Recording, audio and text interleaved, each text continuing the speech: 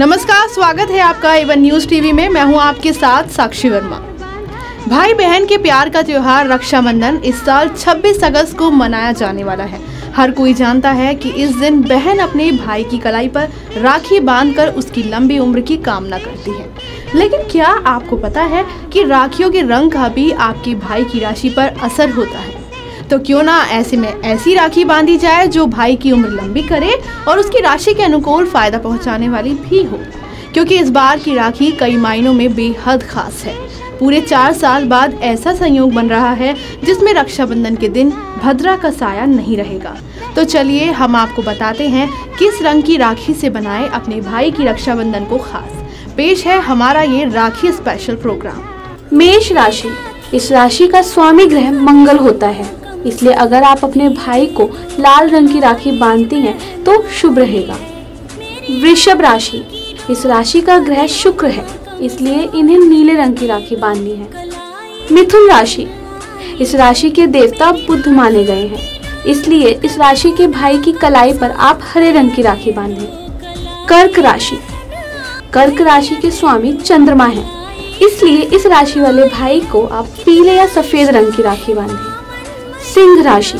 सिंह राशि के स्वामी सूर्य देव हैं। इसलिए इस राशि के भाई की कलाई पर आप सुनहरे, पीले या फिर गुलाबी रंग की राखी बांधें ये उनके लिए अति शुभ रहेगा। कन्या राशि। इस राशि के स्वामी बुद्ध देवता हैं। इसलिए इन्हें हरे या सफ़ेद रंग की राखी बांधनी चाहिए। तुला राशि। इस राशि के लोगों के स्वामी शुक्र हैं। इनकी कलाई पर सफ़ेद, क्रीम या हल्के नीले रंग की राखी बांधें वृश्चिक राशि।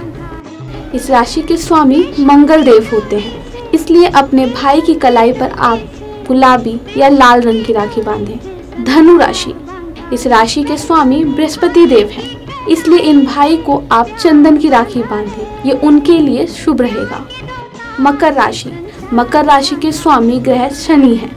इसलिए इस राशि वाले भाई को आप गहरे नीले रंग की राखी बांधें। इसके साथ ही उन्हें केसर का तिलक भी लगाएँ। कुंभ राशि। इस राशि के स्वामी ग्रह शनि है। इसलिए इन्हें रुद्राक्ष निर्मित राखी बांधनी चाहिए। मीन राशि। इस राशि के देव बृहस्पति हैं। इसलिए इस राशि वाले भाई को सुनहरे पीले रंग की राखी बांधे, साथ ही हल्दी का तिलक भी लगाएँ। अगर चाहें तो भाई और बहन मिलकर इस दिन पितरों के नाम का दान कर सकते हैं, या फिर गरीबों को भोजन करा सकते हैं। ऐसा करना काफ़ी शुभ माना जाता है। एवन न्यूज़ के लिए मैं नेहा सिंह। तो ये था आज का मेरा ये खास प्रोग्राम। आप सभी को रक्षाबंधन की शुभकामनाएँ। आपका दिन शुभ हो।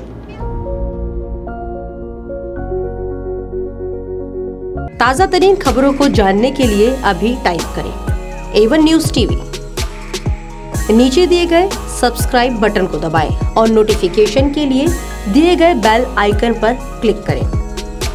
हमारे वीडियोस को लाइक शेयर और कमेंट करें।